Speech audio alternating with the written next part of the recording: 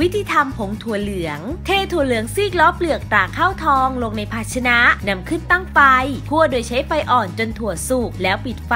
พักไว้จนเย็นสนิท ใส่ถั่วเหลืองซีกล้อเปลือกตราข้าวทองคั่วสุกลงในโถปั่น ปั่นจนกระทั่งละเอียดแล้วปิดเครื่องคนผสมถั่วเหลืองซีกล้อเปลือกตราข้าวทองที่ปั่นไว้กับน้ำตาลทราย เกลือป่น งาดำตราข้าวทองคั่วสุกบดละเอียด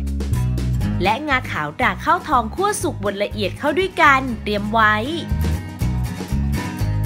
วิธีทำโมจิญี่ปุ่น ใส่แป้งข้าวเหนียว แป้งมันสับปะหลัง และน้ำตาลทรายลงในภาชนะ ค่อยๆ เติมน้ำร้อน นวดผสมจนเข้ากัน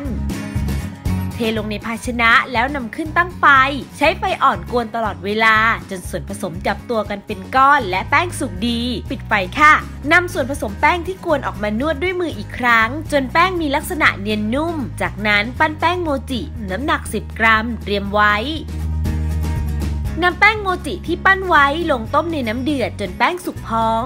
ขึ้นแล้วนำลงคลุกกับผงถั่วเหลืองที่เตรียมไว้ ตกแต่งภาชนะสำหรับเสิร์ฟ คาราเมลสำเร็จรูป วางโมจิญี่ปุ่นลงในภาชนะ พร้อมเสิร์ฟค่ะ กับเมนูโมจิญี่ปุ่น ครั้งหน้า ผลิตภัณฑ์ตราข้าวทองจะมีเมนูอะไรอร่อยๆมาฝากคุณผู้ชม ก็ต้องติดตามกันนะคะสำหรับวันนี้สวัสดีค่ะ